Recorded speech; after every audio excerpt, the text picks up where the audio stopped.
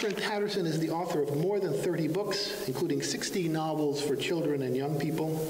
She has twice won the Newbery Medal for The Bridge to Terabithia in 1978 and Jacob Have I Loved in 1981. The Master Puppeteer won the National Book Award in 1977, and the great Billy, the great Gilly Hopkins won the National Book Award in 1979 and was also a Newbery Honor Book and the recipient of a Christopher Award. For her body of work, she has received the Hans Christian Andersen Award in 1998, the Astrid Lindgren Memorial Award in 2006, and the NSK Neustadt Award in 2007 in 2000, the Library of Congress named her a living legend. Pretty appropriate.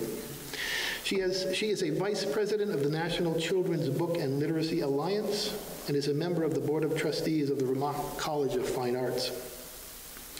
She is an honorary lifetime member of the International Board of Books for Young People and is an Alida Cutts lifetime member of the U.S. section of the U.S. Board on Books for Young People.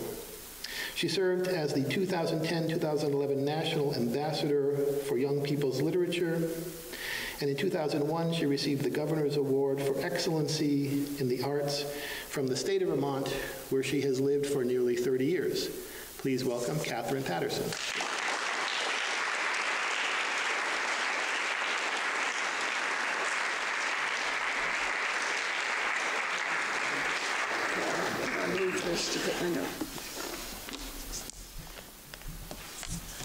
Too big a notebook. But um, I used to have a little sticker. I mean, my husband would put a little sticker in here and say, is the mic adjusted? And then he would say, do you have water? And then he would say, I love you. So he's not here to say he loves me, but I trust that he will take up uh, his uh, torch and, and uh, love me for who I am and what I am. And uh, it sounds grander in the introduction than it is in real life, so.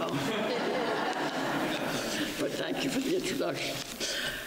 And thank you all for coming tonight. I really, really appreciate your coming. Uh, we were driving up here, and at least, you, at least I'm not competing with the leaves, which get more beautiful the further north we come. Uh, so uh, we were able to see them until until darkness tonight. It was a great thrill for me to receive the phone call to say that my book, Bread and Roses Too, was going to be the Vermont Reads for two, uh, 2018, uh, because actually it's a very old book. It was published in 2006. And that doesn't mean it's a classic. It means it's like day old bread or uh, lettuce that's going to be removed. Uh, uh, if it had been written for adults, uh, it would already have been remaindered or uh, chopped up and sent to the recycling. Fortunately, it's written for children, they hang around longer. Uh, it's been selling moderately well these last 12 years or so, but you're giving it new life, and I do appreciate that. Uh, 2006 was a rather amazing year for me. Um, I, it was the same year, of course, that Bread and Roses Too was published. Is this working? No. No. I just turned it off by moving this. Okay, you don't put your notebook on top of that. I just learned, learned something new. Uh, it was uh, in, it was published in, in the summer of 2006, but in the spring, I'd had a different phone call. Uh, it rang at six o'clock in the morning, and of course, I thought it was something terrible, um, bad news, and uh, my husband thought it was yet again the wrong number for the taxi, and we were just one number off from the local taxi in But it was neither one. It was a call from Sweden to tell me that uh, I won the 2006 Astrid Lindgren Memorial Award. And uh, my children immediately, as soon as they got the word, they said, we don't know if we're invited or not, but we're all going to go to Sweden. Now, I have a fairly large family. I have four children, seven grandchildren, various in-laws and outlaws, and uh, my editor and her husband wanted to go, and uh, my son's mother-in-law wanted to go. And so we arrived 21 strong in Stockholm. I said rather shyly to someone, uh, how many people did Philip Pullman bring last year? And they said, one. So I think the Patersons became sort of a legend in Stockholm. But of course, from the morning that she heard the news, my five year old granddaughter, who's now a very sophisticated senior in high school, but at that time she was all princess and all pink. And she heard that she was actually going to meet a real princess, and she got so excited she didn't know what to do. She began practicing her curtsy immediately. And I was a little bit apprehensive. I, you know, I didn't know what the protocol was for meeting the future crowned uh, queen of, I mean, she was going to be the queen of, of uh, uh, Sweden someday. And so I asked the Larry Lempert, who was the chair of the jury, you know, how do you meet royalty? And he said, oh, give her a high five. well, I thought I'd better solicit other opinions. And, and everybody seemed to say, you know, she's very informal. Uh, you just follow her lead. She probably just offered to shake your hand. And that was what she actually did. And she and I were seated in the front uh, of this huge outdoor uh, arena. And uh, so I got up the nerve to say to her, my grandchildren are very eager to meet you, but uh, would that be all right? And she said, well, of course. She said, but let's wait for the photographers. Wow. That would be thrilling. But somehow my seven grandchildren, ages four to 17, had some burning question they needed to ask their grandmother before the program began. So I could see them making their way down from the, their various seats in the audience uh, to come up and ask me what it was that they needed to ask me. And uh, of course, then I had to introduce them to the crown princess, who was uh, very gracious, and she shook everyone's hand and made sure she knew their names and, and treated them as though they were uh, ambassadors from a friendly nation. And uh, they were feeling quite um, happy by this time. And so when the uh, photographers arrived, they came rushing back to have their picture taken with their old friend, uh, the crown princess. Uh, after the paparazzi had dispersed and it was time to go to the reception, um, my five-year-old granddaughter turned to her mother and she said, now are we famous? And her mother assured her that she was. So she came over to me and took my hand and was skipping happily by my side uh, to the restaurant on the grounds where the reception for all of us famous people was being held. Uh, and then she saw on the table, as people were signing in, yet another picture of her grandmother. And you have to understand that the Swedes take this award very seriously. There were pictures of me all over the city. Every newspaper had a picture of me on the front page. Every magazine had a picture of me. And here was yet another picture of her grandmother. And then going up the steps, at the head of the steps, there was a huge picture of her grandmother, the size of her own front door almost. She looked at that picture and she sighed. And I said, Are you tired of Nana, Jordan? And she said, Yes.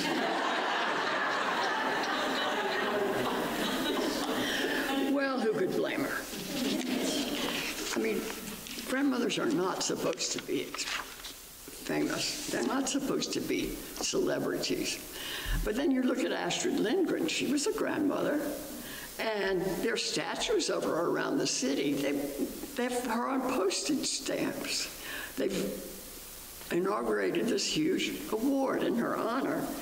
And so you have to think about the Swedish people, how they honor children's books, and someone who wrote children's books. Of course, she wasn't simply a writer of children's books, she was an advocate for justice and peace, but who would have listened to her if she hadn't written Pippi Longstocking? Uh, I can't talk about heroes uh, without revisiting probably the most unlikely hero of my life. And before I tell the story of Eugene Hammett, I have to ask how many people here have yet to hear the story of Eugene Hammett? If you have never heard me tell, oh, that's a great relief because I've sworn to tell the story as long as one hand goes up.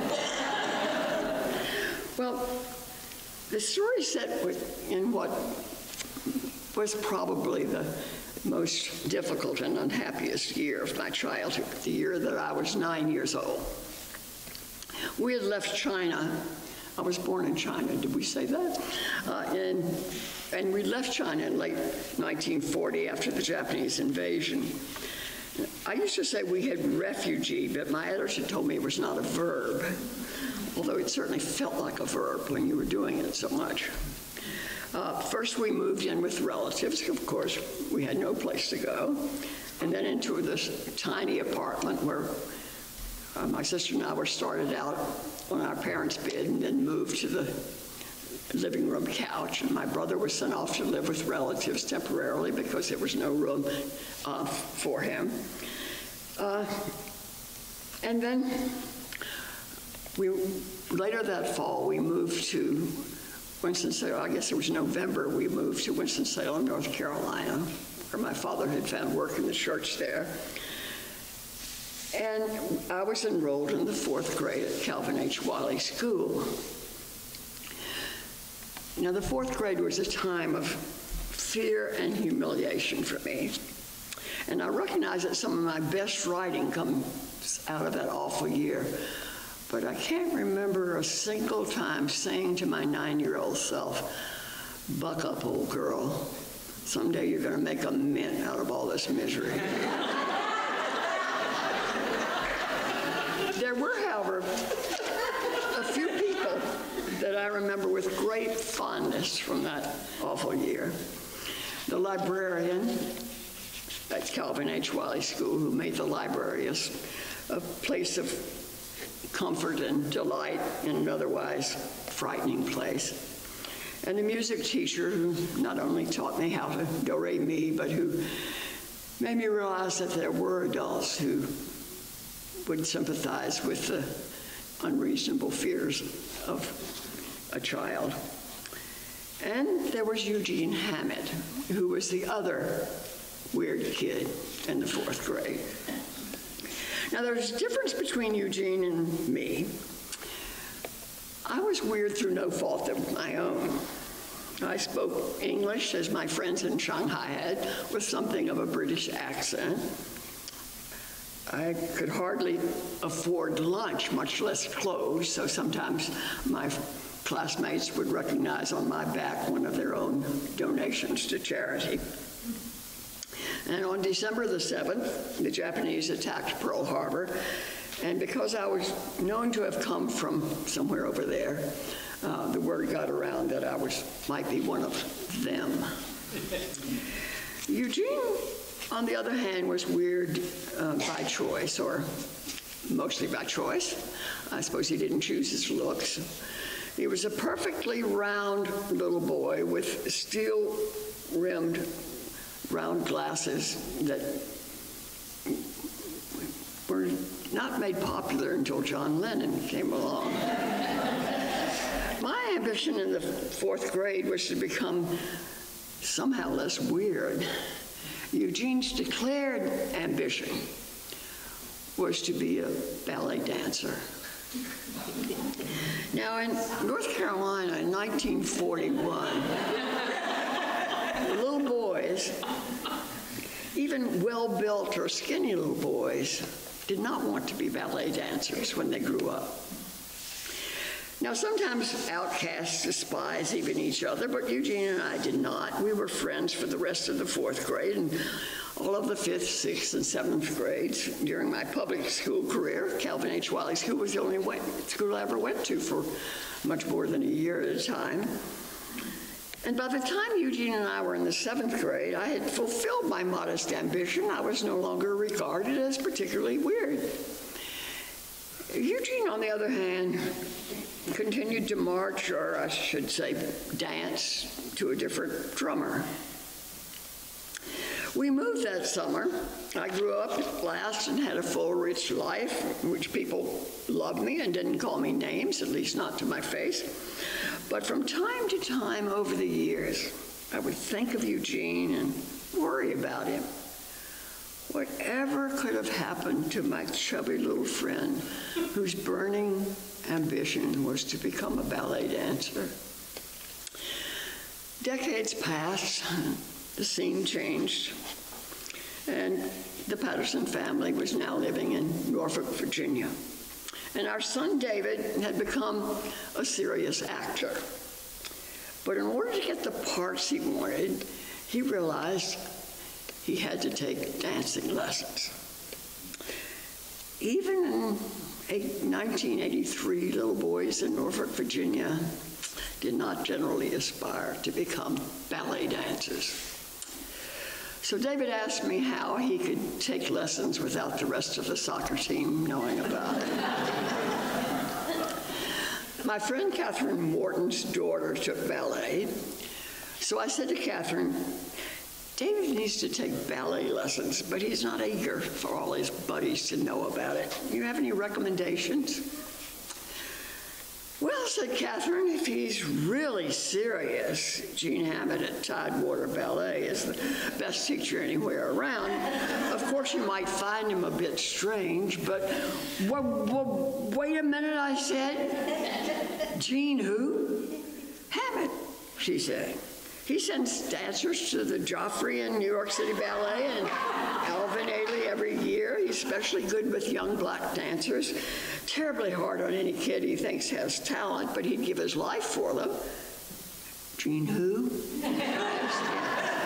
Hammett, she says. You may have seen him around town. He's enormous and he wears these great flowing caftans. He does look a bit weird, but he's a wonderful teacher. You don't happen to know where he came from. Well, he came here from New York. New York? He wasn't a dancer. Oh, yes, he was quite a good dancer. You wouldn't believe it, but know it by looking at him now, but he was a fine dancer 20 some years ago. You wouldn't happen to know where he grew up. Oh, I don't know. She said North Carolina someplace, I think. Next time you see him, Catherine, would you ask him if he remembers anybody named Katherine Womeldorf from Calvin H. Wiley School? Some days later, the phone rings. Catherine? An unknown male voice says, This is Gene Hammett. Eugene, I said, do you remember me? I even remember a joke you told me in the fourth grade asked you why, if you were born in China, you were Chinese. And you said, if a cat's born in a garage, does it make it an automobile?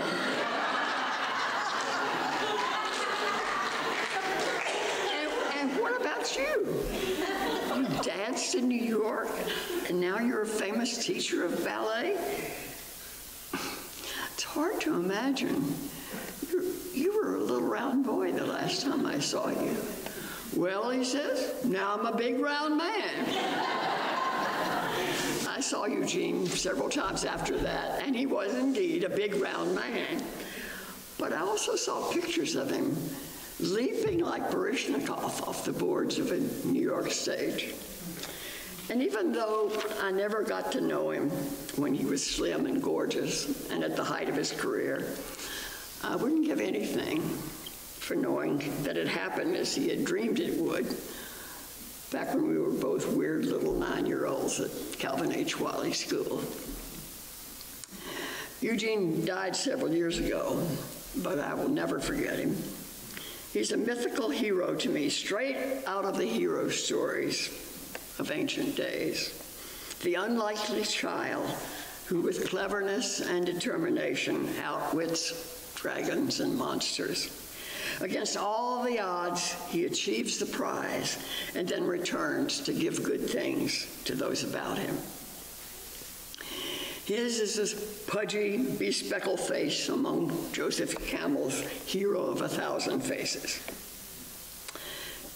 And I'm sure that no one in the fourth grade at Calvin H. Wiley School would have voted for Eugene, or for me, for that matter, to be the most likely to succeed. Now, I think, having heard this story about Eugene, you might want to ask why I have never made Eugene a character in one of my books. I tried more than once, but it never worked. And it was all Eugene's fault. He was too much, too, too complex to squeeze between pages of a book.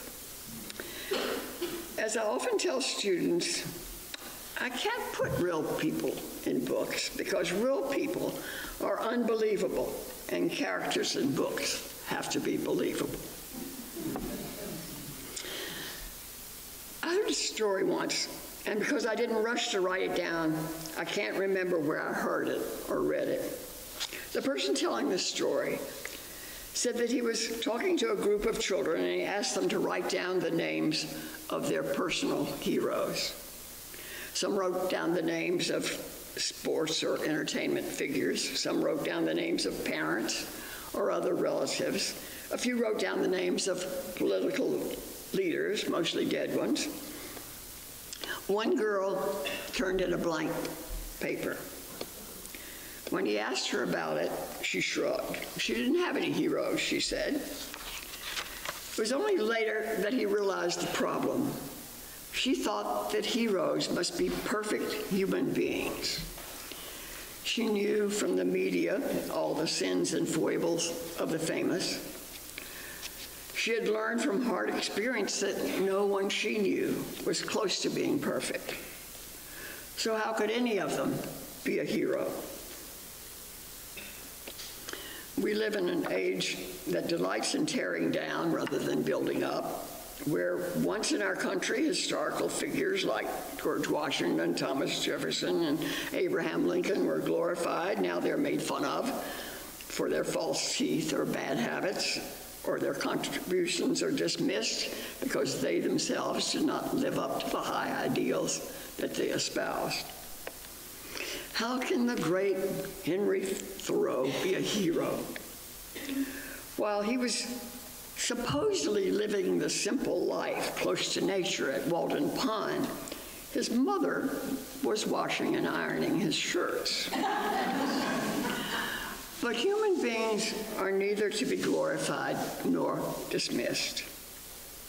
And the same goes for the people who live in books. If Jess is an unlikely hero because he is fearful, then Gilly Hopkins is an unlikely hero because she is not a model of good behavior. Maybe we need to rethink our whole concept of the hero. I did when I met a different kind of hero in a nonfiction book that many of you have, I hope, already read. My husband bought four copies of this book and sent one to each of our children, as it was a book he wanted everyone to read. The title of the book is Mountains Beyond Mountains, with a subtitle, The Quest of Dr. Paul Farmer, a Man Who Would Cure the World by Tracy Kidder. The book is Kidder's account of a brilliant doctor who is giving his life to a tiny hospital in Haiti, certainly the most desperately needy country in the Western Hemisphere. But because he is so brilliant and perhaps a little crazy, Paul Farmer is also pioneering new cures for multiple drug resistant tuberculosis in Peru and Russia. as well as finding lower priced drugs for HIV AIDS, while commuting to Massachusetts to teach at Harvard Medical School. The man never seems to sleep, but in the midst of this multi continent hectic schedule, it is the individual patient that Farmer cares most desperately about. In his book, Kidder describes going with Paul Farmer to make a house call on a TB patient. Dr. Farmer wants to make sure the patient is taking his medicine. To get to the shot, the shack where the patient lives, they must hike for seven hours over the literal mountains beyond mountains that make up the heart of Haiti. It is just the kind of trip that Farmer gets criticized for. A two day trip to see what ends up being a couple of patients. But to Farmer, this care for every single patient is his reason for being. During this seemingly endless trek, Kidder asked Farmer about the $20,000 his organization spent to take a boy from Haiti to Boston for treatment, which in the end did not save the boy's life. Kidder remarks that one of Farmer's Boston co-workers had said it was a shame that they had spent so much, given all the other good things that amount of money could have done. Yeah, says Farmer, but there's so many ways of saying that. For example, why didn't the airplane company that makes money pay for his flight? That's a way of saying it. Or how about this way? How about if I say, I have fought for my whole life a long defeat? How about that? How about if I said, that's all it adds up to is defeat? I have fought the long defeat and brought other people on to fight the long defeat. And I'm not going to stop because we keep losing. You know, he goes on to say, people from our background, we're used to being on the victory team. And actually, what we're trying to do here is to make common cause with the losers we want to be on the winning team, but at the risk of turning our backs on the losers, no, it's not worth it. So you fight the long defeat. Here in Dr. Farmer's story, we can see that it's not winning that makes a person a hero. It is making common cause with the losers. It is never turning one's back on the poor the dispossessed, the powerless. It is Gandhi, it is Jesus, it is Martin Luther King Jr. It is, I dare say, some of you in this very room tonight. Which brings me finally to the reason we're gathered here.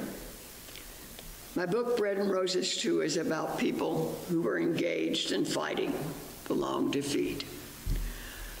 The struggle of the working poor for a living wage has been going on for centuries, and the battle is far from won, even in our own rich land. My story begins in Lawrence, Massachusetts in 1912, when about 25,000 textile workers from more than 30 countries, speaking at least 45 languages, united in what has become known as the strike for bread and roses. And while the numbers and the name of the strike are in dispute, the heroism of the strikers is not in doubt. I first became interested in this history when I saw a picture taken in what for 28 years was my hometown of Barre. Standing on the granite steps of the old Socialist Labor Hall in Barre are 35 children and four adults. The caption below the picture reads, Children from the Lawrence, Massachusetts strike come to Barre. The There's a story in that picture, I said to myself, and then set about finding out what that story was. If there were ever unlikely heroes in the world, surely the textile workers of Lawrence in the winter of 1912 are among them. We have to assume that the very reason the mill owners of Lawrence went to the poor regions of Europe to recruit them from so many countries, speaking so many languages, was so that they could have very cheap labor that could never unite in a strike. Was sort of the Tower of Babel in reverse. You begin with a babel of voices and build your empire upon their inability to communicate. But the workers of Lawrence proved them wrong. They did communicate, they did unite, and they did prevail. By the time I had immersed myself in the story, I was overcome with admiration for these unlikely heroes. I wanted to tell the world about them. My only fear was that I would not be able to tell a fictional story worthy of their historic triumph. In my story, Rosa, the child of a mill worker, is desperately trying to keep her mother and sister from taking part in the strike. After all, her teacher has warned her that the strike leaders are godless anarchists, communists even, who will foment violence, and nothing will be gained and everything lost if the workers persist in their protest. Tell Anna not to go out, Mama, please. But Mama refused to stop her. She goes with Mrs. Marino. Well, Mrs. Marino has a hot temper. You know that, Mama. Mama gave a laugh that turned into a cough. I go too as soon as I stop shaking and the barking, she said. Please, Mama, you and Anna mustn't strike. You might get hurt. The mobs will get violent. She couldn't say what she was really thinking. What will we eat? How will we pay the rent? Mama knew all the same. Rosa, they short the pay two hours every week. That is five loaf of bread we don't have no more. I work, my children starve. I go out to strike, my children starve. Whatever I do, they starve. It's better to fight and starve than work and starve. Yes? Rosa struggled to make a better argument, anything to keep her mama and sister safe, but the baby was crying and she couldn't think straight. Now, go help Granny with Ricky. Be some use, smart schoolgirl. I got to be there tomorrow to meet Mr. Joe Ettor. He going to help us win. If you ask me what is my favorite scene in the book, I suppose I'll have to point to one that's wholly fictional. I chose to invent a story about the poster calling for bread and roses, too, for which no objective evidence exists. In my own defense, I admit that in the historical notes, but they are at the end of the book and the story's in the center of the book. Here it is. Rosa has just returned from Mass. And here's the, from the next room yet another gathering of the neighborhood women. Rosa plunked down on the edge of her bed and took off her sodden shoes. Her feet were freezing. She rubbed her toes to try to get the circulation going. What wouldn't she give for a new pair of shoes? I'd sell my soul, she thought, and was immediately filled with panic.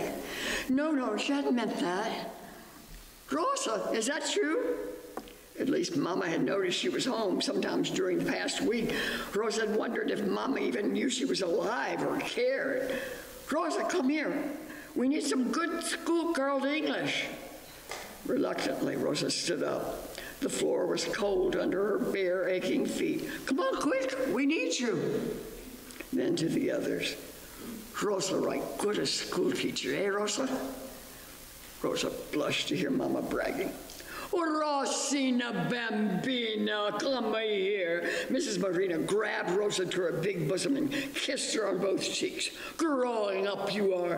What grade you go now? Six. Rosa mumbled, embarrassed by the display. What'd she say? Miss Marino asked. I don't hear so good. Too much banging in the mill. Six, said Mama loudly. First in her class, too. That's a fine girl, Miss Marino said, beaming at Rosa and kissing her again soundly. Now, now, come, come, you, you sit. She turned to the women occupying the kitchen's two chairs. Up, up, give our schoolgirl a chair. Both women stood. No, no, not you, Miss Petrosky. You got the bad legs. Miss Petrosky sat down again. Here, Rosa, right here. She put her hands on Rosa's shoulder and pushed her down in the chair nearest the table. In front of where Rosa sat down was a large white rectangle of pasteboard. Beside the pasteboard was a bottle of ink, her ink. Rosa noted, feeling a twinge of resentment that someone had dared raid her precious school supplies, and a brush about an inch wide. Okay, said Miss Maria. You see, we got to make a big sign for tonight to take you to the train station. You got to be, it got to be good message and very nice handwriting. We need you, smart girl, do it for us, okay? Should she tell Mrs. Marino and the others that she hated the strike? That she wanted no part of making a big sign for it? She should, but she knew she wouldn't. She was such a coward. And Mama had bragged. So all she said was, What do you want the sign to say? We're thinking, we're something very good. All eyes were on Mrs. Marino, everyone quiet. It was a solemn moment. Okay, now you see, they give one piece only. So only one sign. So got to be really, really good. The best sign in parade, eh? All the women nodded agreement. Yes, yes, the best sign. Mrs. Marino continued. We want Mr. Big Bill Haywood to see our sign soon as he step off the train. We want all the newspapermen from big city New York and Boston see our sign. She leaned so close to Rosa that Rosa could smell the old sweat clinging to her dress.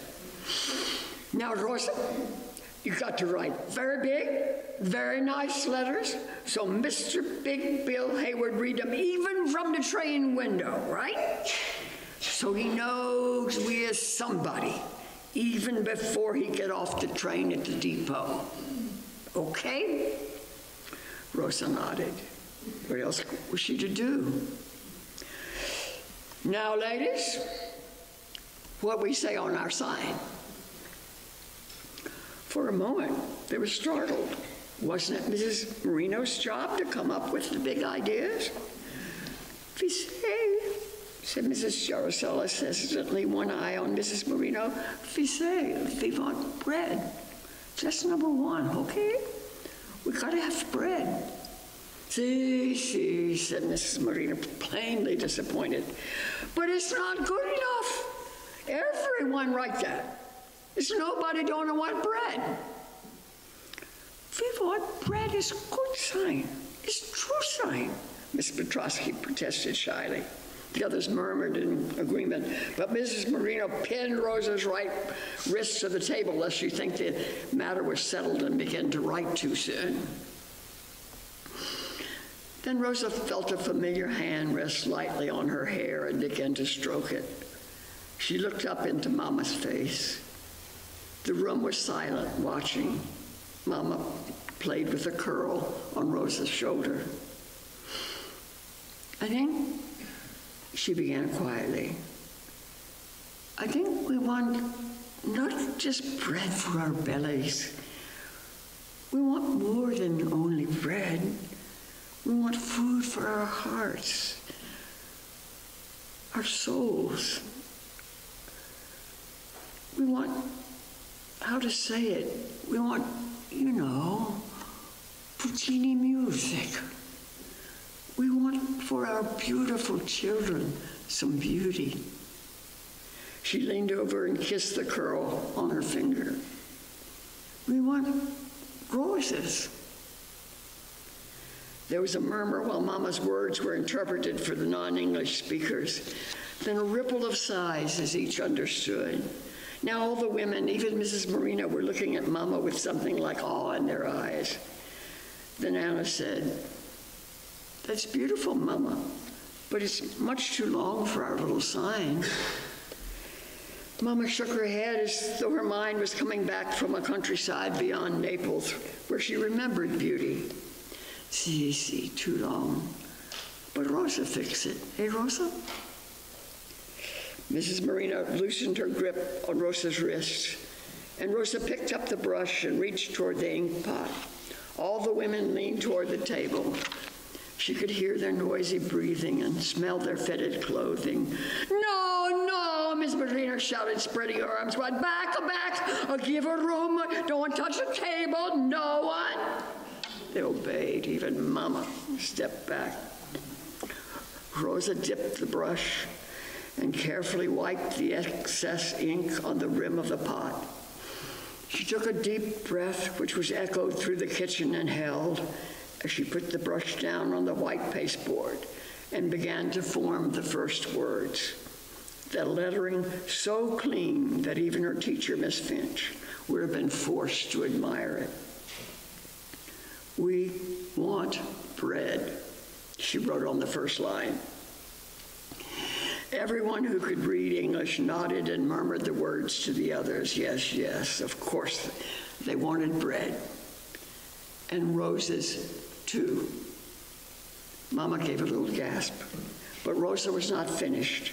One more dip, and she put a perfectly curved comma between roses and two, in case just in case Miss Finch were to see the sign and marvel that these innocent foreigners should know enough to insert a comma. Careful not to drip, she replaced the brush in the pot. Meantime, Anna was reading the second line aloud and then the whole sign. Something like a little cheer went up, and everyone leaned in for a closer look at the masterpiece. No, no, Miss Marino yelled, spreading her arms out once again. It's a silhouette. Don't touch nobody. It's a bird. Lissimo, oh, Rosa Bambina mia, it's the best sign nobody ever made. She took Rosa's head in both her big red hands and kissed the part in her hair. She was weeping for joy. There were tears in Mama's eyes as well.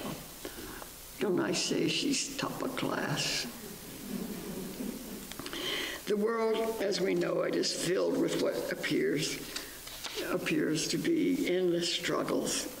Struggles against poverty, against injustice, against oppression of many kinds.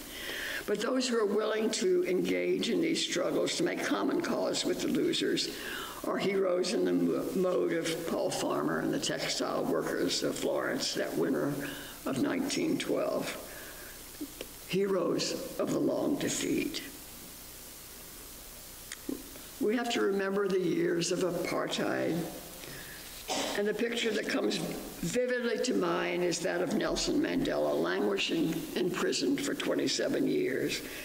When he was finally released, a journalist asked him if he didn't hate his captors for the suffering they'd caused him. Yes, he said, for the first 13 years, I hated them. But then one day I realized that they could take away everything I had except my mind and my heart. I would have to give those away, and I would refuse to do that. And so for 14 years, he grew the soul that would lead his country to a powerful revolution, a peaceful revolution. He refused to embrace violence and revenge, to become like his captors. He was a true hero of the long defeat, which turned unbelievably, almost miraculously, into a kind of victory over hatred, a triumph the world had not seen the likes of before. There's another story I love which comes from the era of South Africa's long defeat. Jim Wallis tells this story in his best selling book, God's Politics. Bishop Tutu was preaching that Sunday morning in St. George's Cathedral. As usual, the congregation had had to brave the line of armed police that always surrounded the cathedral on a Sunday morning, but they had gathered, as they bravely did each week, to worship. While Bishop Tutu was preaching, however, a large group of police actually invaded the sanctuary, circling the congre- congregation, waiting, it appeared, for the bishop or the congregation to say or do something that they could be arrested for. You can imagine the fear that gripped the people. The sanctuary had been violated. Apparently, there were no limits to what the apartheid regime was prepared to do to silence protesters. The bishop abrupt, abruptly stopped his sermon and for a few long moments stared at each invader in turn. Finally, he spoke in his quiet, almost playful voice. You are strong. You are very strong, he said. But we worship one who is stronger than you. Why don't you just join the winning side? The congregation, who until that moment had been frozen in fear, stood up and quite spontaneously began to dance. Before long, they had danced their way past the invaders, dancing out the great doors into the courtyard, dancing right through the police line which surrounded the cathedral and into the streets beyond. No one was arrested.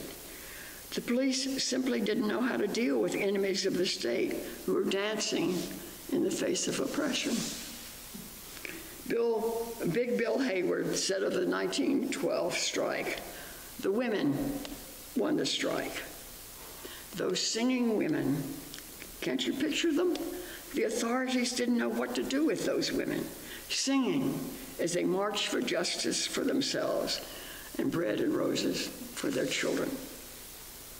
In many ways, all of us who care for and work for the children of the world are fighting the long defeat.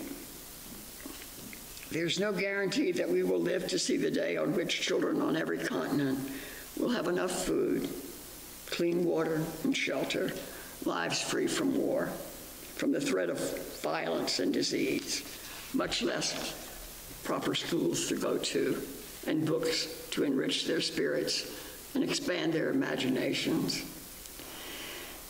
As you know all too well, we haven't come close to achieving these aims in our own country. But in, as imperfect as we all are, as fearful as we often are, remember, friends, that we are making common cause with children. They are the powerless, they are the losers in this tragic world their elders have made. As daunting as this task is, we must not, for their sake, surrender to despair or cynicism. Instead, staring into the very face of power, greed, and criminal indifference, let us join hands to become the unlikely dancing heroes of the long defeat. And thank you for joining me in that dance.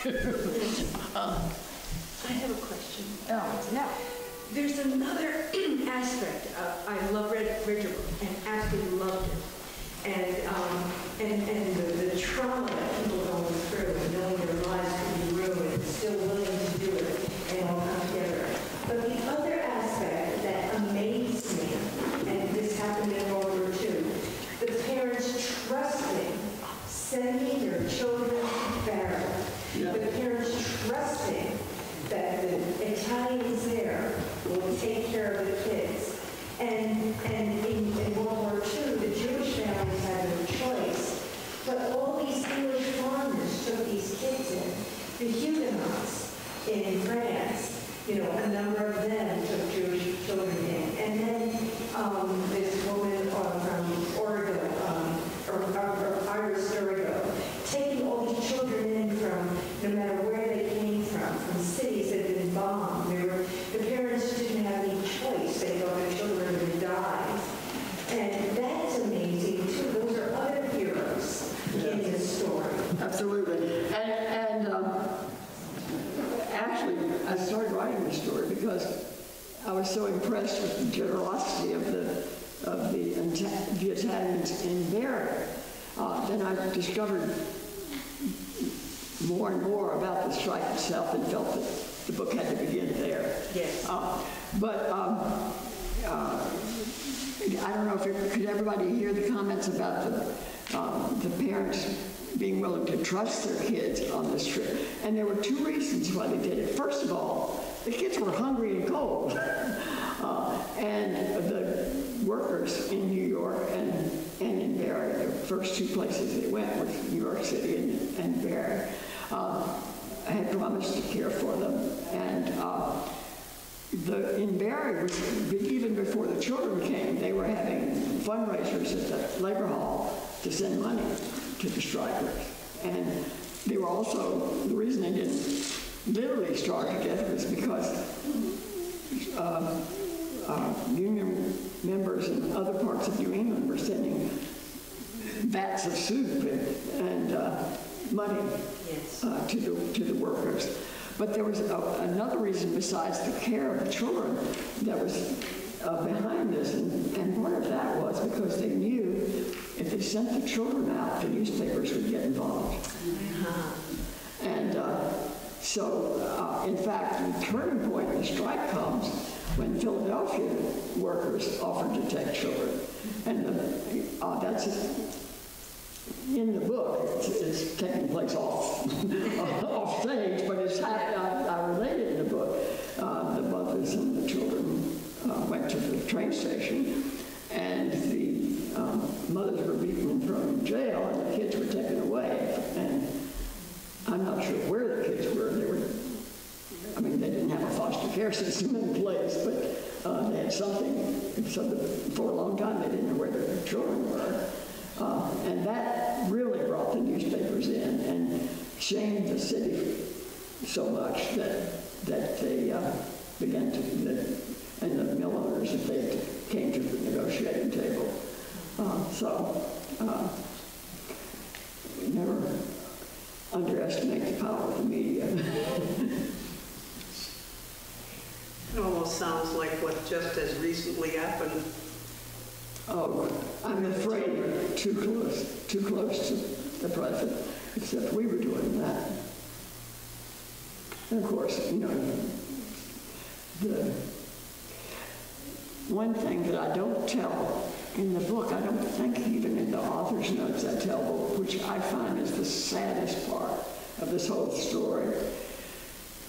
Um, the, these workers won, got everything they asked for at the negotiating table. It was the most successful strike almost in American labor history because they, the workers got everything they asked for. And of course, they should have asked for a lot more, uh, but they did get everything they asked for. You'd think be a source of great pride.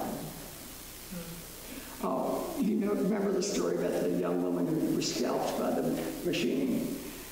Uh, she was, and several other workers, um, because uh, President Taft, the newspapers aroused Washington.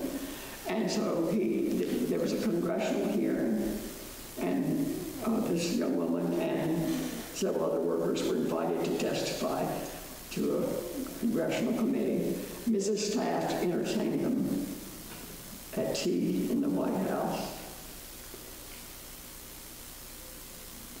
How many of you had heard about the strike before you read the book? You'd heard about the strike. Not many people have, to tell you the truth. Maybe because you live in this area, you'd heard more than most people in this country where it doesn't appear in a lot of history books. Um, a, reporter in the 60s realized that not much was known about the strike. And so he decided to kind of dig into the story of the strike. And someone told him that the daughter of this young woman who had been scalped was still alive. And he was thrilled because he was uh, going to get a firsthand story. She had never heard the story, her mother's story. And she said, well, Mama always liked me to comb her hair, and she wanted me to comb over the bald spot, but she never told me why she had the bald spot.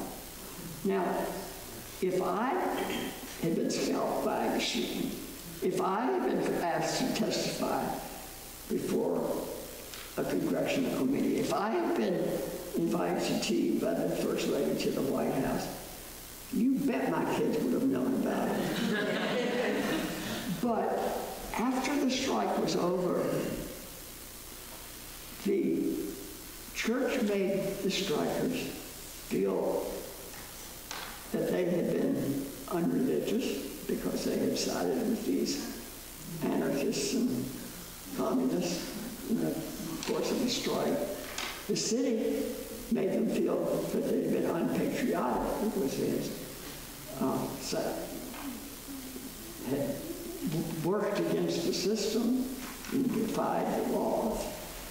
And so they became ashamed of what they'd accomplished and they never talked about it. So that's why, why there's been so, until recently, so little written about the strike. Yes. Is there work that you'd recommend about the labor movement in Vermont in the story that you tell? Is- there a particular historical work that you'd recommend? I'm not knowledgeable enough to tell you which but there are books about, of course, the uh, mills, especially uh, in the Burlington area, you know, all the mills that were there. Uh, And, and uh, the good bit has been written about uh, the in the Barre area. I don't know, uh, did anybody else help Ms. Gentleman know about some more books about labor in Vermont, labor movement? Uh, Dick Hathaway is no longer with us, is the person we should have all asked, because he knew everything about uh, the labor, labor in Vermont. Vermont History Center very probably give some, I'm sorry. Vermont History Center in Barre, I'm sure could some of these. They have historians that work in the Vermont His- um, History Center in Barre. I'm very hard of hearing, so you have to help me. The Vermont History Center in Barre would help. Yes, yes, that's a good place to go to start, you know. Vermont History Center, which is, if you haven't been in that building, it's so beautifully restored. Um, It's worth a trip just to see uh, the stained glass and the woodwork and the plaster carvings. And, and even in small towns, there are history books. Like in our town of Ryegate, there is some um, uh, sections on the union and the formation of the union. Oh, And how the people forming the union were sent to jail.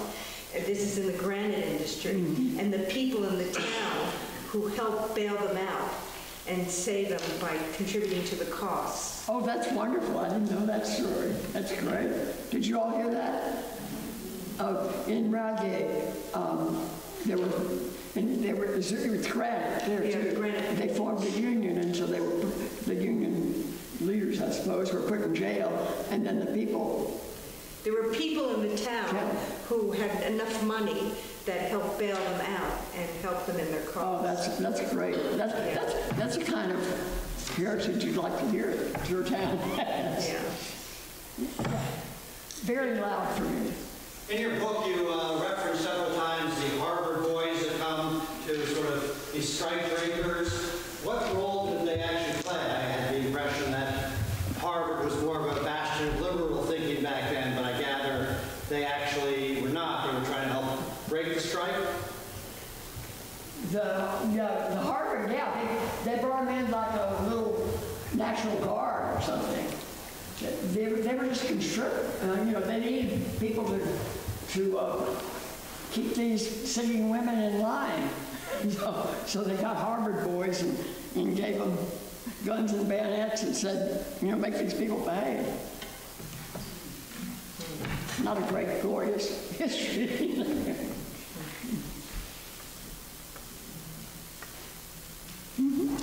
How does it feel to be so successful? Sorry. How does it feel to be so successful? How does it feel to be so successful? You know, I know myself very well, and, and there's more of the nine-year-old that wasn't, work- wasn't a success at Calvin H. Wiley School. Yeah. I mean, it, I, I mean, it's lovely for people to like your books, and I really like that. But the rest of it, you just sort of think, well, you know, another year somebody else would have won. Um, It's, I love, I love the fact that I write books that people love to read. That makes me very, very happy. Is that, is that answer your question?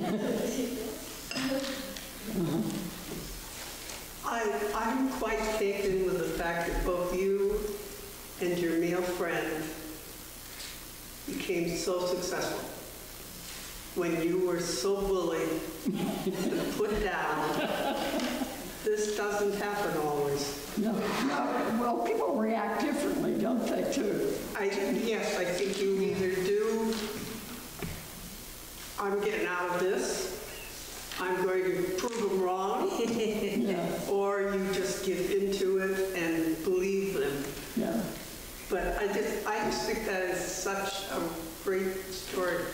Well, it, it is a great story, and, and it just, you know, I just wouldn't give anything. I, that's one reason I keep telling Eugene's story, because I just think it's wonderful.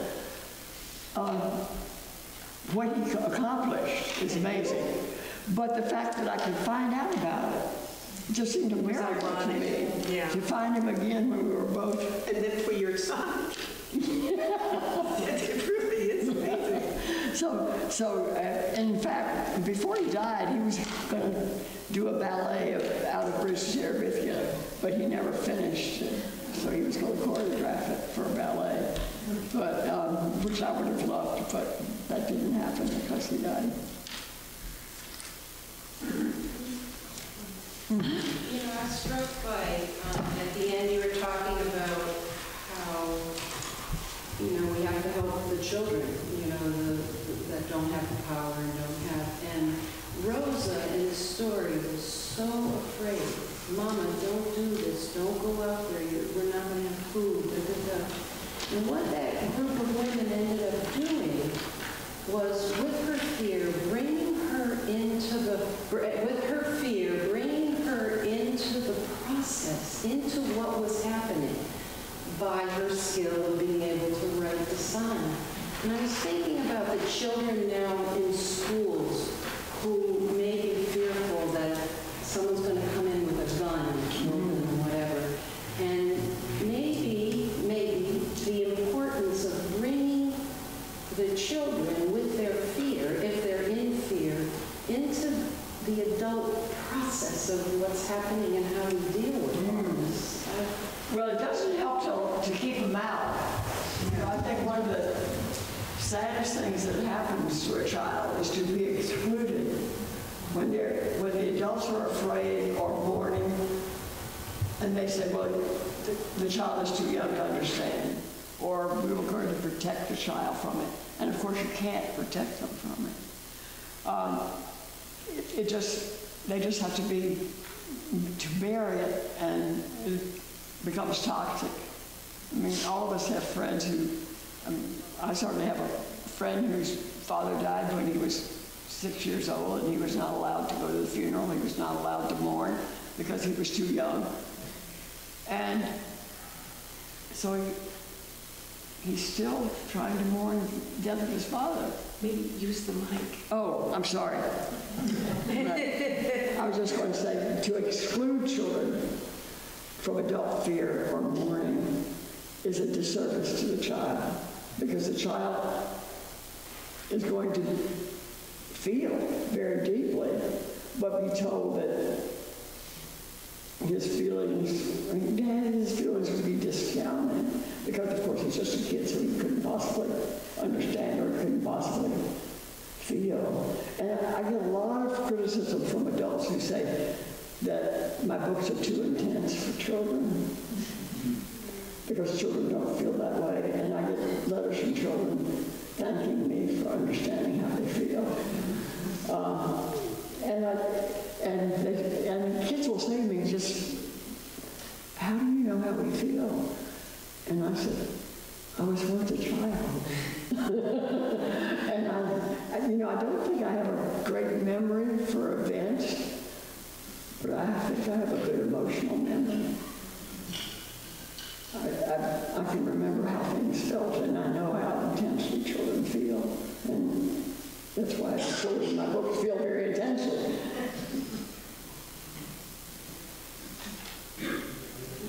Yes. You developed some wonderful characters in the story.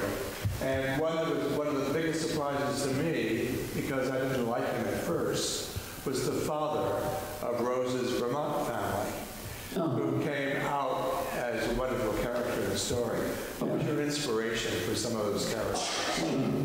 But, well, of course, I, I do love him very much. And um, there again, you know, you, you think what, what's gone into this man that's made him so, so that you didn't like him initially, his, his devastation about losing his own child and also losing his mentor. Um, so, you know, he's had, he's had more pain than he should have had to have in his life. And, uh, and yet he's, a, he's basically a wonderful man. And, and he, in a way, Jake, Jake's awfulness brought out his compassion. And, um, um, I, you know, people ask me how I respond, and I, you know, in the final scene when he, he says, well, you know, we'll buy new gloves next year. It doesn't matter. I mean, no, he shouldn't have his gloves too big. He should have gloves that fit, and next year we'll get another pair. And giving Jake that hope for his future, just in the way he talked about getting another pair of gloves for him. Um, and, you know, I, I, I read the last couple of pages of the book and I always cry because, um, and I cry because he just about his heart, you know. So, uh, I love these people. You know, I think somebody asked me about creating characters, and I think they're not a retro set. you, don't, you don't make up characters. You get to know people, and and uh, that's one reason you write more than one draft because each time you know them better. And you realize, well, no, he would never have said that. I'm, I know him better now. I know, you know, he would do this or she would do that, or she wouldn't do this or she wouldn't do that. Uh, so uh, uh, when I was, I, I came to writing quite late, and, and I would listen to writers talk about their work, and I thought I would sit there and always think, well, if I ever get to be a writer, I'm not going to talk hokey. Talk hokey.